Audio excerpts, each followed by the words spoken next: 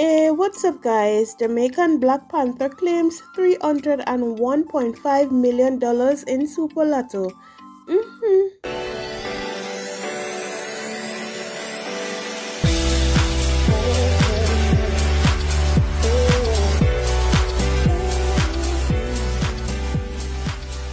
A Jamaican man claimed 301.5 million Super Lotto prize wearing a Black Panther costume on Friday, January 8. Supreme Ventures Gaming Company welcomed the latest member to its Super Millionaire Club with the recent handover of the jackpot to the man they only identified as G. Samuels. Samuels purchased his lucky 300 Jamaican dollars quick pick ticket from the Lotto Super Center in Clock Tower Plaza in St. Andrew.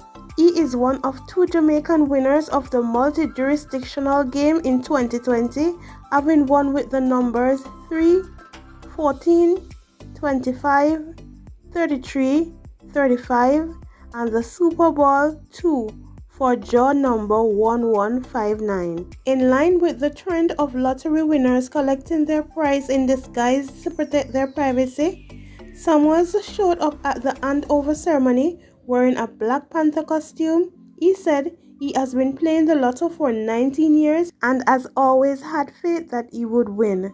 Samuels aimed to use the massive payday to kick back and relax for the foreseeable future. He said, and I quote, I didn't really have any particular goal in mind. I just wanted to win enough money so I could retire and buy a house and a car.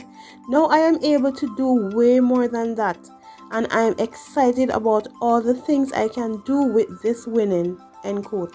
Samuels, who purchased the Super Lotto ticket days in advance, says he went to his usual hunt to buy cashpot when, in checking his ticket, he found out that he had won a whopping $301.5 million in Super Lotto. Chief Marketing Officer of Supreme Ventures, Heather Goldson, said making two Super Lotto millionaires in 2020 was a bright spot in a gloomy year.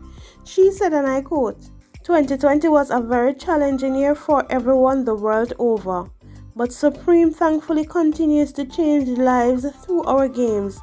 Winners of Super Lotto and Lotto are dramatically impacted due to the massive size of our jackpots. We are very excited for our latest Supreme Millionaire.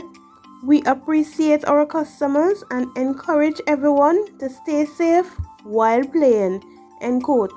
Samuel said that since winning the 301.5 million Jamaican dollars, he has also won over 100,000 with Supreme Cashpot game.